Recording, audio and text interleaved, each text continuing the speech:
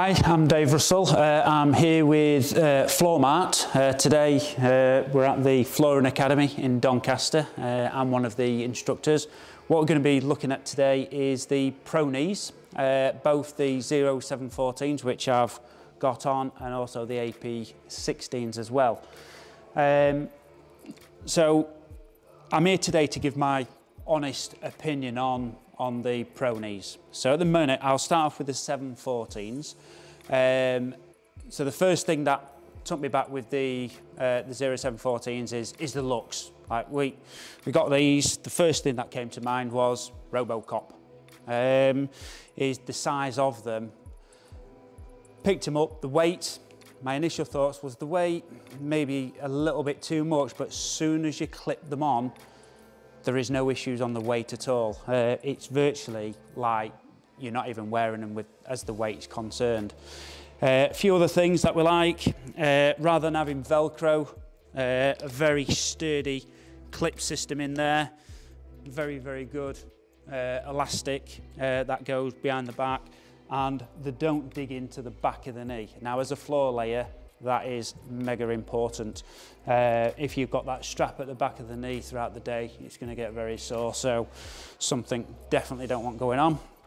Um, obviously, the, the pro knees are made for the distribution that goes um, away from the knee and through into the leg. Okay, to health and well-being. Uh, there's not a lot of floor layers out there. I've not had uh, knees that hurt a lot. Uh, myself, I've had uh, three operations on my knees. Um, so knee protection is hugely important.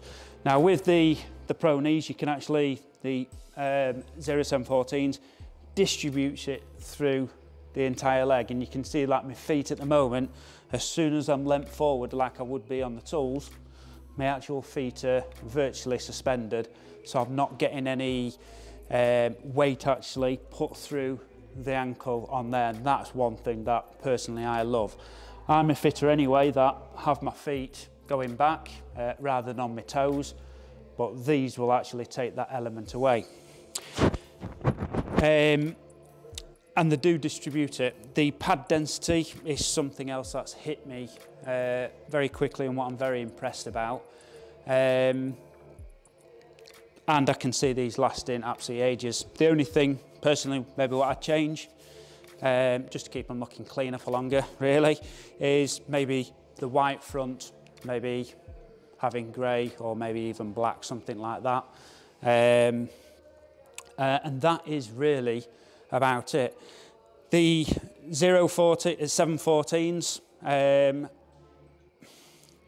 these would be for a much larger project doing LVT, commercial vinyl, uh, on a large project where you're spending a lot of time on the knees, really looking forward.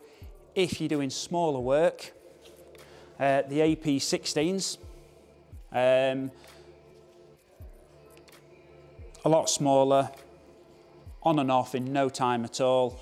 Uh, and with a strapping system as well, you can see that is going to be away from the back of the crease of the knee. So these might be um, someone's cup of tea if they're doing a lot more smaller work rather than uh, the big jobs.